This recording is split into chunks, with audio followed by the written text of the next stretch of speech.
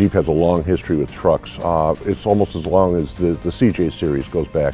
First trucks were introduced in 1947, and up until 1987, there was a continuous line of at least one model of Jeep being produced. The most iconic Jeep truck is probably the Gladiator from the early 1960s. It's got that round or oval rhinoceros grille that they called it. It was just a, a tough, strong looking vehicle. The Gladiator and the J Series were built from 1963 up until 1987. So I think that's what people are most familiar with. The Jeep pickup that was built from 1947 to 1965, it really stood out because it looked like the Willys wagon. It looked like the other Jeeps that were being built at the time with the flat fenders.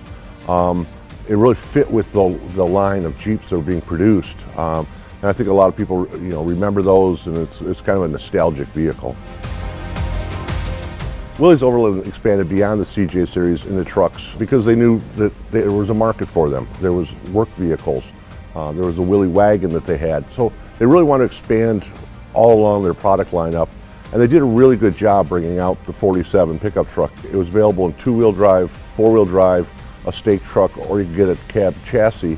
So it was really a dedicated work truck. Uh, they didn't even really name it. Uh, they called it the 463 when it came out but it was just known as the Jeep truck. And uh, it had the same reputation that it could go anywhere, do anything like the rest of the Jeep models. I think the new Gladiator, uh, it really harkens back to those Jeep trucks. You know it's a Jeep when you see it, like all the other trucks. And obviously it has the, the workload, the work ethic that all the other Jeep vehicles had. So I think it's something we can be really proud of calling the Gladiator name again.